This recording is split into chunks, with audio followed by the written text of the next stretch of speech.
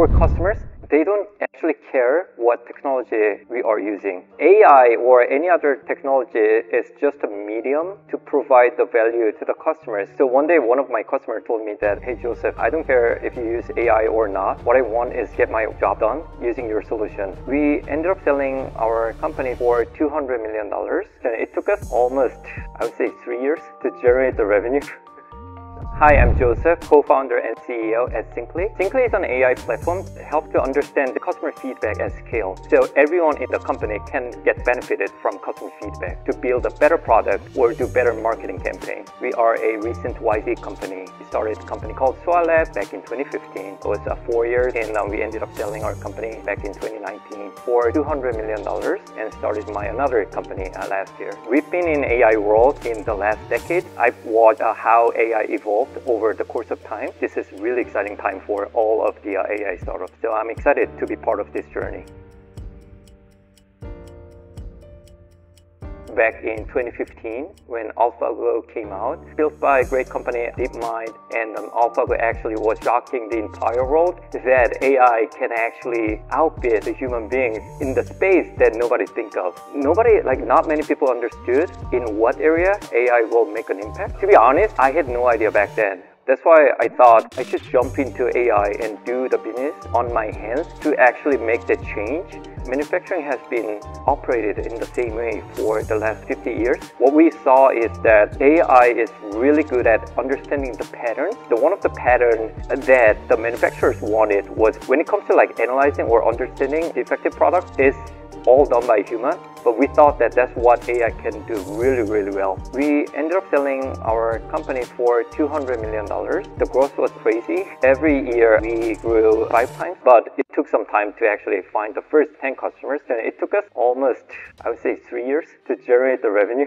In the first three years, we tested different verticals to which vertical that we can make the most impact. The first vertical we go after was the fashion industry, but we have no connection there. Yeah, I'm not from fashion industry at all. So what we do is just pick up the phone and dial the number to try to talk to uh, who can actually make a decision in the company. In total, we called around 500 prospects in fashion industries, and it's actually almost every company in Korea back then. After that, we just went to the factory and bring our laptops and a one pager on my right hand and left hand. So CEO, me, CTO. At the time, we didn't have a product. We just have like a technology and an algorithm. We just try to show them the end goal. Try to start from there. If things work there, here are the business impact that you will get. Give us three months to prove the value from the scratch. If not, then you don't need to pay. But if you think there's a value, pay whatever you think is valuable. Three out of four actually ended up paying.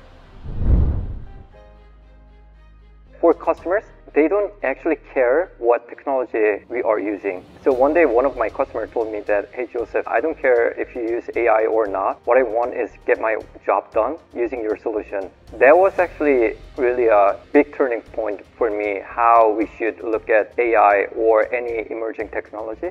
Generative AI is definitely getting a lot of highlights nowadays. If we look at the history, the trend is always changing, evolving. AI or any other technology is just a medium to provide the value uh, to the customer. So I would say that focusing on the value that you try to deliver by leveraging technology makes sense, but just framing or just building something using AI that provides like zero value to the customer, it doesn't really make sense. And even if you raise money by leveraging the trend, it doesn't last long that much. It just lasts like maybe two years, your runway, and you'll be in like big danger once you cannot figure out the value prop that you try to bring to the world.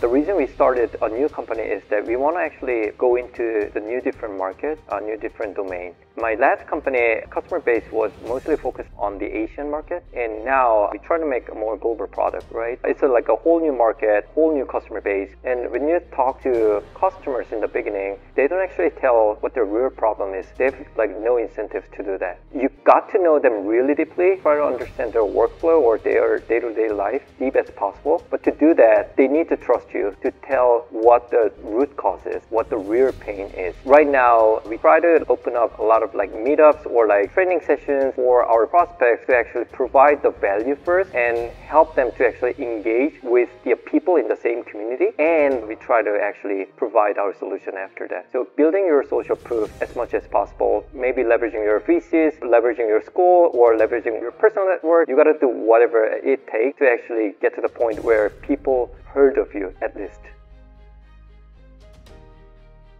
The way we try to find hair on fire problem is we double down their workflow and what their pains are. We start with what's your goal? What does the success look like this year? There are like some bullet points that we can actually come up with, right? We take the bullet points and meet the new people try to say the bullet points. If there's something that resonates with them as well, then you can narrow down uh, bullet points. Let's say in the beginning you have like a five different bullet points that could be a potential hair on fire problem. Once you talk to 10 customers, it could narrow down to three. Once you talk to 50, 100 customers, you will hear the one common bullet points that is hair on fire. That's how we try to narrow down the scope in the beginning.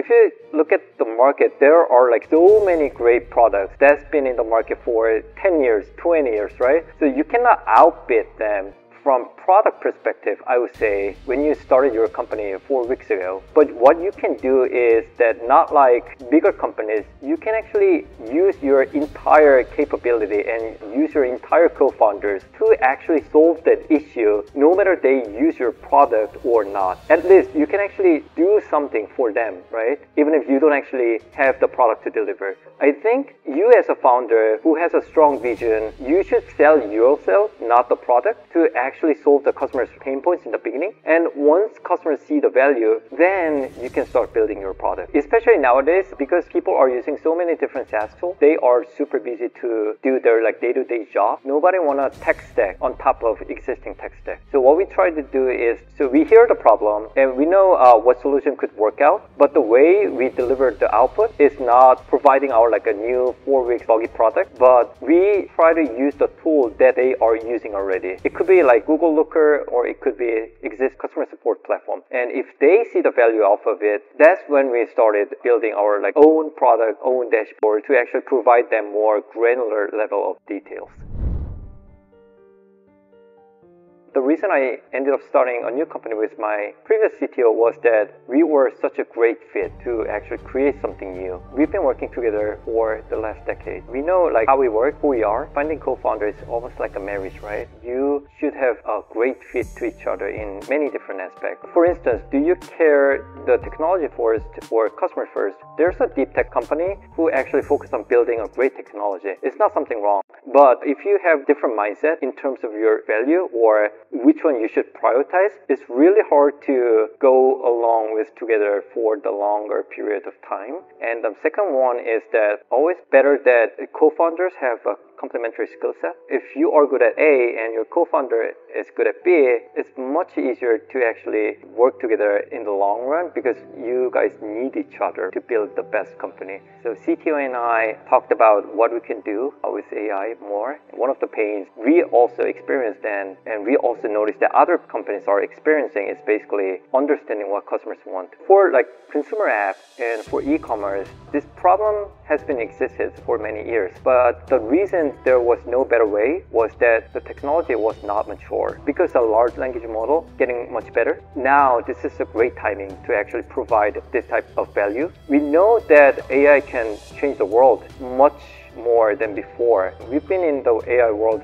for the last 10 years and we've observed the change in the last 10 years as well, right? So creating a new value using AI is something that I really enjoy doing. The process of running this company, the journey that I'm I'm going right now is, is really make me excited.